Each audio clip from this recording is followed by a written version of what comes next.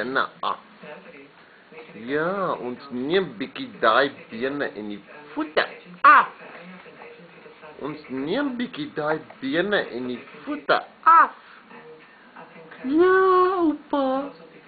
Ons neem bietjie die hele lyfie af. Ja, oupa.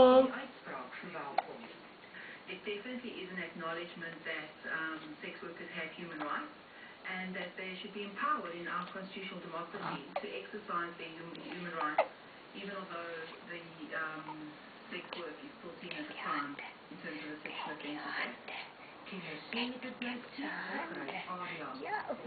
Moet blou.